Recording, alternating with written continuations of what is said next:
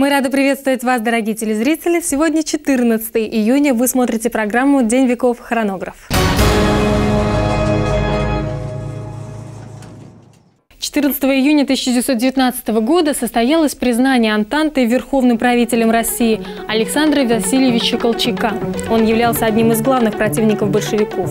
Прежде Колчак был морским офицером, выдающимся исследователем морей Арктики и Дальнего Востока. В 1900-1902 годах он участвовал в полярной экспедиции и за выдающийся и сопряженный с трудом и опасностью географический подвиг был награжден Русским географическим обществом Большой Константиновской золотой медалью и избран действительным членом общества. Да, не случайно один из островов Карского моря был назван именем Колчака. Он также принимал участие в проектировании специальных ледокольных судов – а в 1909-1910 годах Колчак участвовал в экспедиции Берингов пролив. Колчак был не только исследователем, но и боевым офицером. Во время русско-японской войны он попал в плен. Раненый и больной ревматизмом Колчак в 1905 году был отпущен из японского плена и вернулся в Петербург, где был награжден орденами и золотой саблей за храбрость. С началом Первой мировой войны Колчак практически руководил боевыми действиями флота на Балтике, успешно блокировав действия германского флота. Осуществлял разработанную им тактику морского десанта – нападал на караваны германских торговых судов. В 1916 он был назначен командующим Черноморским флотом и произведен вице-адмиралы. Однако удерживать дисциплину и достаточную боеспособность флота становилось все труднее и труднее. Адмирал Колчак чувствовал приближение бури революции и свою беспомощность предотвратить эту катастрофу. Поэтому в июле 1917 года Колчак, оставив командование Черноморским флотом, приехал в Петроград и вскоре был командирован в качестве начальника морской военной миссии в США. Узнав Сан-Франциско об Октябрьском перевороте, не счел эти события заслуживающими внимания – в ноябре 1917 года в Японии Колчак узнал о намерении советского правительства подписать с Германией мир и решил не возвращаться на родину, а продолжать борьбу с немцами. Союзником России в Первой мировой войне против Германии была Англия. Колчак был принят на британскую службу и в 1918 приступил к формированию вооруженных сил для борьбы с германо-большевиками – в ноябре 1918 года он приехал в Омск, где, совершив государственный переворот, объявил себя верховным правителем российского государства и главнокомандующим новой, создаваемой им русской армии. Колчак поставил себе целью победу над большевизмом и установление законности и правопорядка. Он получил военную поддержку Англии, Франции, Японии и США.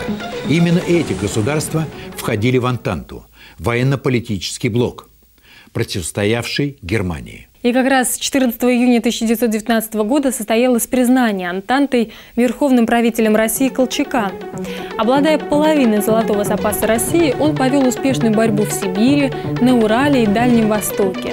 К весне 1919 года в армии Колчака находилось до 400 тысяч человек.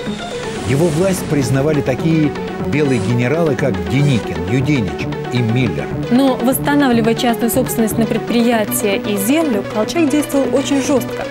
Он закрывал неугодные ему органы печати, выносил смертные приговоры, что вызвало сопротивление в тылу Колчака. К тому же он допускал и другие просчеты. Так финский генерал Маннергейм предложил Колчаку двинуть на Петроград 100-тысячную армию в обмен на независимость Финляндии. Но Колчак, выступавший за единую и неделимую Россию, отказался. В результате к лету 1919 года главная группировка войск Колчака была разбита.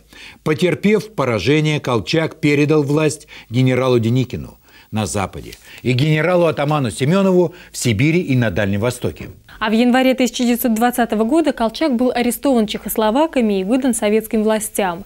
По тайному предложению Ленина Иркутский революционный комитет постановил расстрелять Колчака.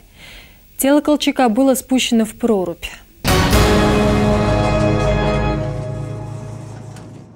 14 июня 1920 года Совет народных комиссаров под председательством Ленина, собравшись в узком составе, принял секретное постановление о так называемом совнаркомовском пайке, то есть о выдаче сытной еды властителям голодной России. Положение о пайке было утверждено единогласно.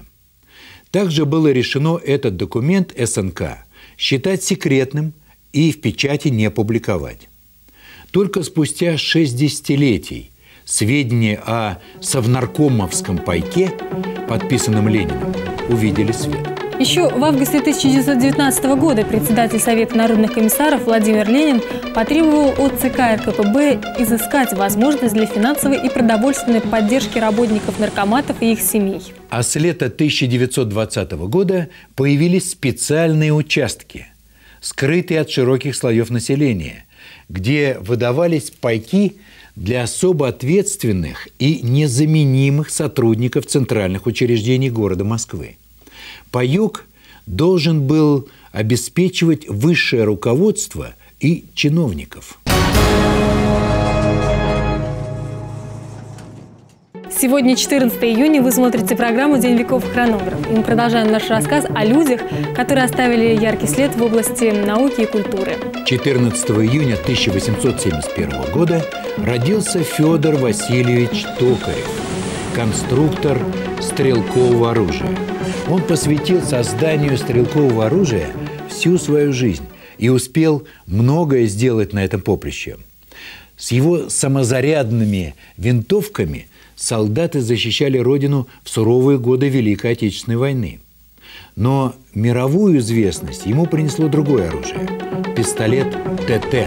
Восхождение его к вершинам оружейного мастерства началось очень рано – Закончив приходскую школу, он 14-летним подростком поступил в учебно-слесарную мастерскую. Продолжая свое специальное образование, Токарев закончил оружейное отделение Новочеркасской военно-ремесленной школы и военно-казачье юнкерское училище. В 1919 году Токарев сконструировал автоматический карабин, а в 1925 на вооружение Красной Армии был принят ручной пулемет Максима Токарева, переделанный им из станкового пулемета Максима. Он также разработал первый отечественный пистолет-пулемет под револьверный патрон, снайперскую винтовку с оптическим прицелом и самозарядный пистолет ТТ, что значит Тульский, Токарева. Именно пистолет ТТ был основным личным оружием офицеров и генералов Советской армии в годы Великой Отечественной войны. Оружие, созданное Токаревым, широко применялось